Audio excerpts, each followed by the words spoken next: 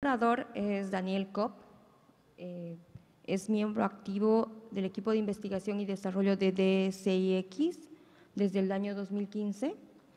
Participa en varias actividades de investigación nacional e internacionales. Sus intereses son de investigación, mediciones de Internet y redes, así como también la seguridad de Internet y computadoras. Contribuye activamente a la comunidad de Internet y redes como ser RIPE, NANOC, DENOC y ahora LACNOC. También participa en actividades de estandarización del IETF. En esta oportunidad va a hablar acerca de ataques de denegación de servicio, servicios booter y mitigación de denegación de servicio en los IXP. Gracias, Daniel. Thank you very much. Um, I have to speak English because I can't speak uh, Spanish. I'm sorry about that. um, so hopefully you have your uh, translation devices. So um, as already said, I'm part of a research team at the Internet Exchange in Frankfurt. Um, this presentation is basically about uh, two parts. It's one about our research that we did for um, DDoS attacks that you can buy in the internet. And the second part is about how you can defend yourself for DDoS at IXPs. So DDoS attacks are getting bigger and bigger. 2015 we saw 200 gigabits. 2018 we saw 1.7 terabits. But these attacks are really like um, high profile attacks and they don't happen often. So there's a lot of much smaller attacks. And the question is, what do you need if you want to make an attack by yourself? For example, you want to shut down the hotel website. So you need a lot of technical experience to do this, and you need infrastructure to overload the website of the hotel.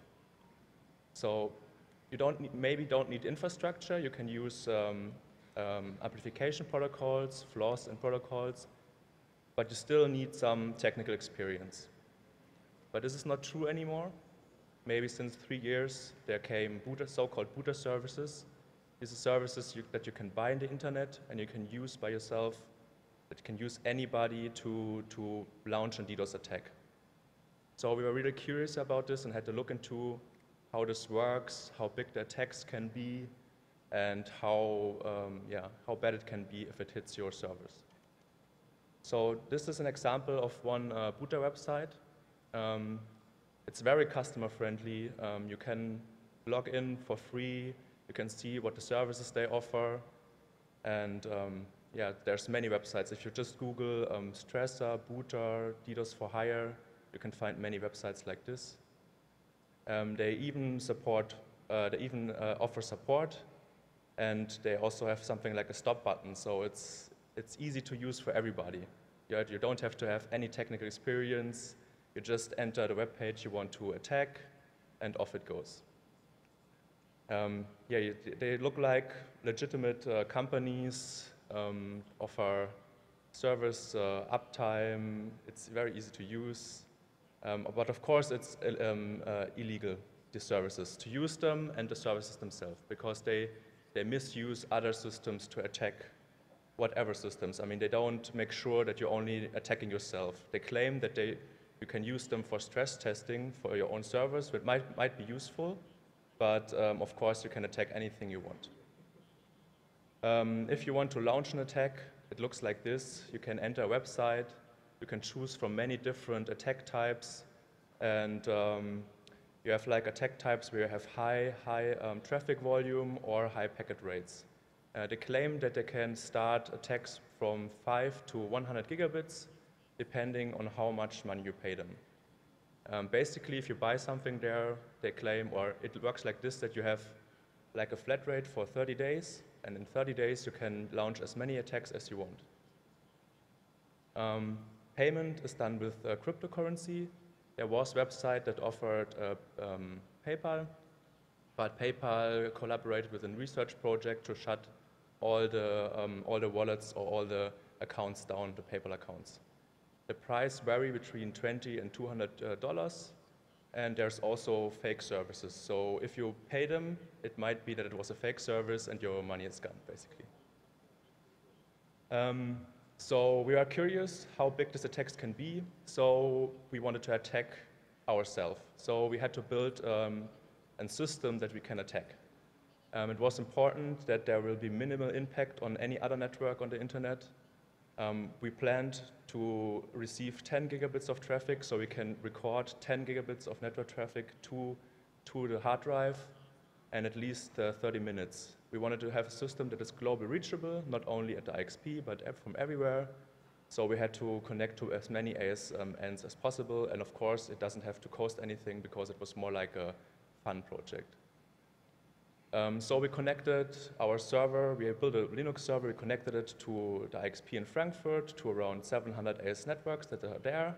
We also connected it to a transit network, both with uh, 10 gigabit peering. And so we were able to record 10 gigabits of traffic. And if we want to see more than 10 gigabits, we had to use the telemetry of the IXP. So if you're interested in building such a system by yourself, um, it's very important to have um, a network card dedicated for recording, a very fast RAID system, and a dedicated RAID controller, as well as a very high um, performance CPU. We used Linux um, for the routing and BIRD.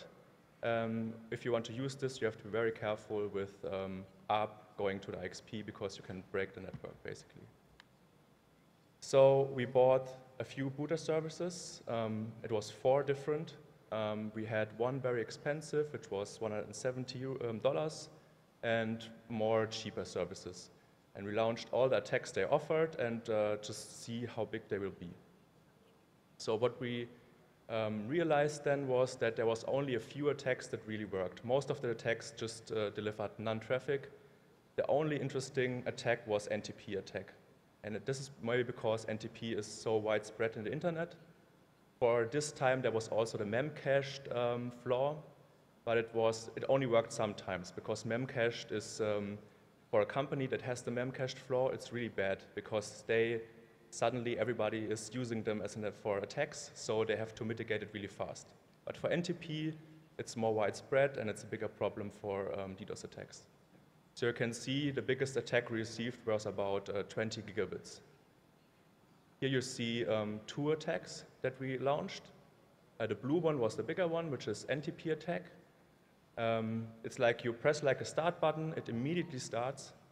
It went up to 20 gigabits. Then there was this dip, which was because the transit link broke because it was too much traffic, and then it came up again. The red line is uh, the memcached attack. It was much slower, uh, much less traffic, but basically it also worked really well. So most of the traffic is for NTP was delivered with the transit link. It was around 80%. For the memcached traffic, it was a neighboring ASN because they had a flaw with memcached. So it's very interesting to look into the traffic details here if you want to def um, defend yourself and you can um, apply good rules on how to filter the traffic. So this is already from a paper that will be published in 10 days. Um, so we learned from the NTP traffic how the attacks look like. So we used this um, details, which was basically the packet size. The attacks have a very specific packet size. So we used this and we had a look at the, the traffic at the IXP and at two major ISPs in Germany to see how many attacks we can see on a daily basis. So this is about a um, 30 months period of time, and we saw like 300,000 um, destinations that have been attacked.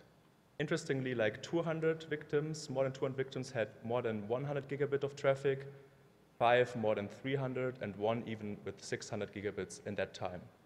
And you see where our attack was in the plot around that, and there's a, lo a lot higher attacks and a lot smaller attacks.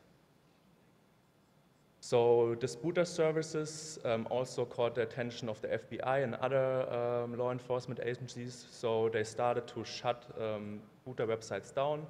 Basically, they are use, they're referring the DNS record of the website, so you can't access the website anymore. So, um, and in December there was a takedown where they had um, 15 websites take, took down by the FBI.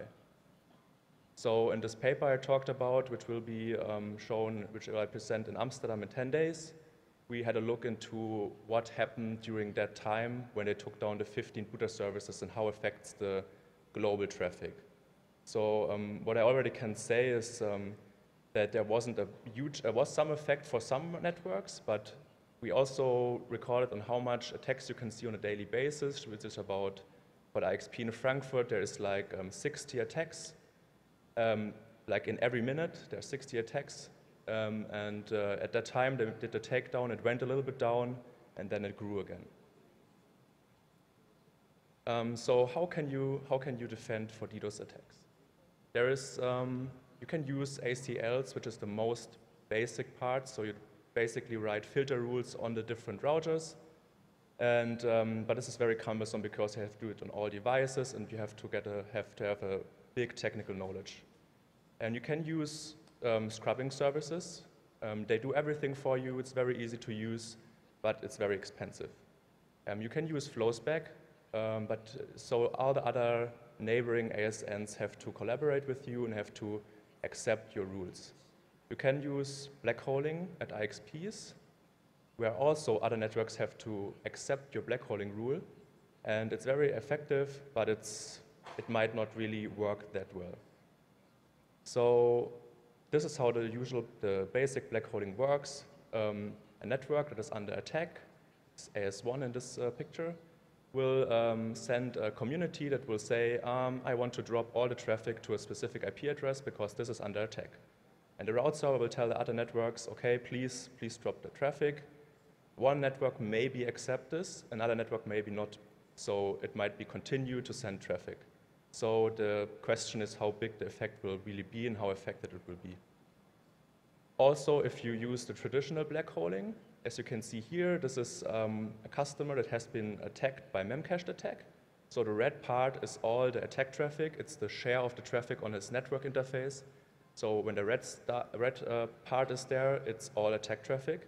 So he would um, apply a black holing, which will also um, black hole and also discard all the blue traffic, which is good traffic. So this is collateral damage and might be not really good for if you want to keep your service running.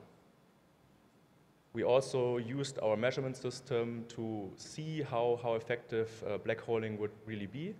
So we attacked ourselves again, and in the gray part, we applied the black holing to see what happens with the attack traffic. So it got really down by just a little bit. And the blue dots you can see, that is um, the number of peerings um, that sent us traffic, the number of peers. And they got also like only a few accepted our query. It was like uh, maybe, maybe 10 networks, and all the others continues to send us the attack traffic. So this is not really effective. Um, this was for a slash uh, 32. For if you do it for slash 24, it might be more effective, but almost none of our customers are doing this. We see like 99.99% of the people having slash 22s. So we needed to have a new DDoS mitigation black holing um, system. So the design goals was it has to be really, uh, you have to have really fine-grained uh, rules. So you don't have to drop all your traffic, but you can drop really only the traffic that is DDoS and everything else is going through because you want to maintain your service. Um, the signaling has to be like you're usually doing the stuff, for example, with communities or APIs. Um, you don't want the other networks to accept your query. You want to enforce it so that they all drop the traffic you want to drop. You want to still have some insight into what is going on in the traffic. And you want, we want to have it really scalable because in Frankfurt it needs to run for a thousand routers. And of course, again, the costs have to be really low, so only maybe the cost about some researchers thinking about how to solve the problem. Um, so the system is already there and it's now in testing phase. Um, this is how it works. The customer again uses communities and says, I want to drop the traffic to this specific destination only for that port. Then the route server will redistribute this to a black holing controller, and the black holing controller will install rules on the switching hardware in the IXP. So therefore, all the traffic is blocked, and no traffic is coming to the affected customer anymore. Um, this is an overview how the system looks like. You have the IXP members that talk to an, the IXP interface, which is either the communities and the route server, or we will also build an API to use with the black holing. Then you have this black holing manager, which installs all the rule on the, on the switching platform. So I'm not going to detail here.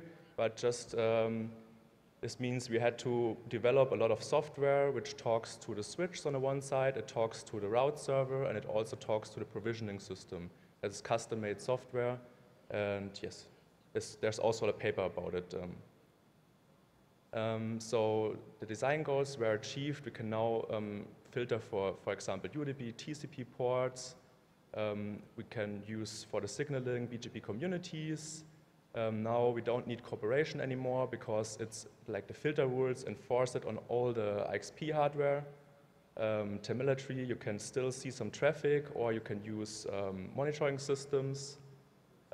it's scalable, it works inline on the switching hardware and it's uh, very, uh, very inexpensive because we, we basically use the hardware that's already there and just install filtering rules.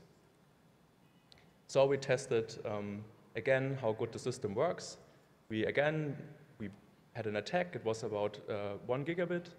Um, then we used the first option of the system, which is to shape the traffic to a specific um, bandwidth, which was here 200 megabits.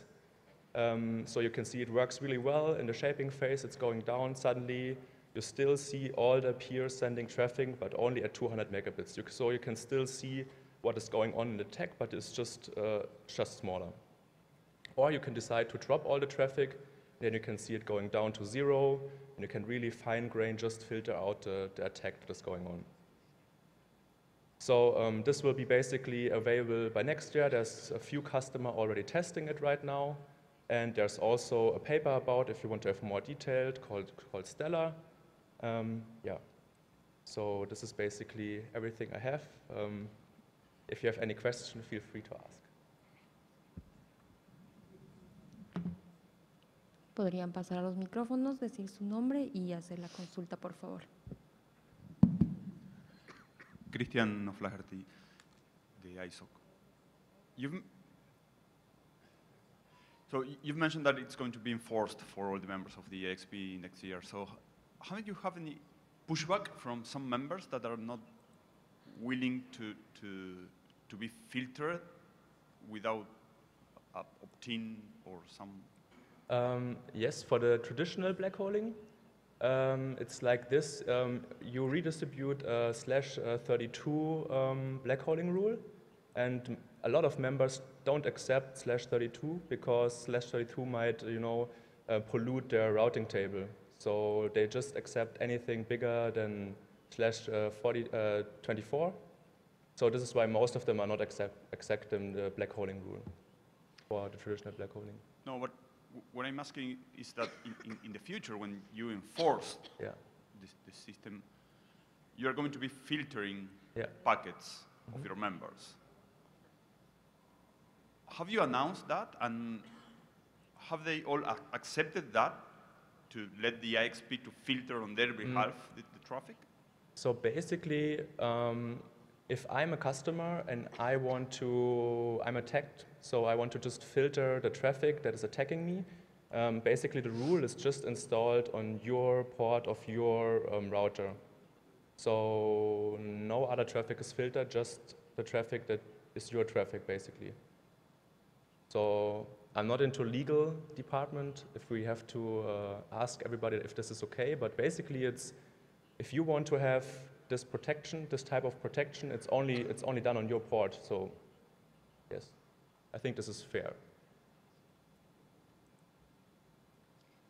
Hi, Alex Mallorca from Mexico asks about where are, what can Latin American enforcement entities to do better curtail this type of attacks locally? Um, I think uh, it's good to collaborate with the other parties that are already working on the problem, like the FBI and so on. Yeah, I think there is already a group like uh, of Norwegian, Netherlands, um, and the US that are collaborating in this area. Okay, thank you. And another question for Alex Mallorca from Mexico. This, which assurance are there that these mitigation are not misused as a kill switch? Um, yes, I mean, this is a technical question, so you have to design everything as, it, as, as this is not happening. Um, it's always, um, you have to be really careful on things you can do. But I mean, nobody can misuse the system how it's designed right now. Okay, thank you. Hello, Douglas from Brazil. Uh, uh, this, the, this hardware filtering implementations depends on the, in, uh, it's the curse implicates on some limitations of number of filterings. So uh, the first question is how do you uh, limit it to the participants? And another question in the same same uh, co uh, concept: Are there are any costs for the participants about that to use that uh, resource? Uh, uh, and uh, uh, uh, another consideration: uh, uh, uh, mitigate attacks are- not a, a, a self uh, preoccupation. It's a world preoccupation. And- and there is any kind of proposal to integrate the same type of filtering that you do on DE-CIX to the filtering that can, can be done on links or things like that. Uh, redistribute the, the flow spec that participants on DE-CIX announces to another place to filter it over there, things like that. So three questions. First, uh, the limitations of the, the, the number of access lists, the, the costs, and the possibility to integrate with other internet exchange points that has more robust filtering tools. Yeah, uh, it's very good questions. Um, limitations, um, there is limitations on how many rules can be installed in the switch hardware. Um, um, it was tested, I'm not really sure about the details, but everything is in the, in the paper I talked about. Um, but basically, I think customer, it depends on how fine your rules will be, but you, are, you can install around like 100 rules, I think. Um, and it's also a limit on how many members can install rules at the end. So um, also cost-wise, um, it's not 100% clear now if there will be cost. Um, so there's first customer testing is it, and it is the question if people really use the system. So yeah, this is not really 100% sure about the cost. And the third question about uh, to use similar techniques at other IXPs or other networks, um, I think, so other IXP maybe implement the same thing. Um, if you want to signal something to the IXP, there is some work now done for IXPs. They build like an API that is the same for, for all IXPs. Um, yes, and I think for IXP, IXP-wise in DDoS mitigation terms, I think now this is something that has been there already for your transit network. You could filter, do fine-grained filtering, and now you're also able to do it for your IXP link, so it might be um, complete your DDoS mitigation um, yeah, system better. Thank you. La última pregunta, por favor. Hi, I'm Moileski. Um, thank you very much. Very interesting. Uh, did you make a comparison between your when you launched the attack you hired uh, between the transit link and your members? Um, you mean how many, how much traffic is coming from? Yes, yes, we did. So um, for it was uh, specific to the type of attack. So the two major type of attacks was NTP and Memcached, and it was very different to these two types of attacks. For NTP, most of the traffic was coming through the transit link, and this was because it was about 80%, and this was because it was coming mostly from China and Ukraine. So this, this is why it's coming from, not because it was not local in Europe. And for the Memcached, most of the traffic, almost 80%, was coming from one network. So it would have been really easy to mitigate this attack. This was because uh, it was um, a cloud network that had some problem with Memcached at the time. But it, it's probably really fast mitigated, and I'm not sure if Memcached is anymore around because it creates a too big problem for the networks that have open, uh, open resolver for uh, Memcached.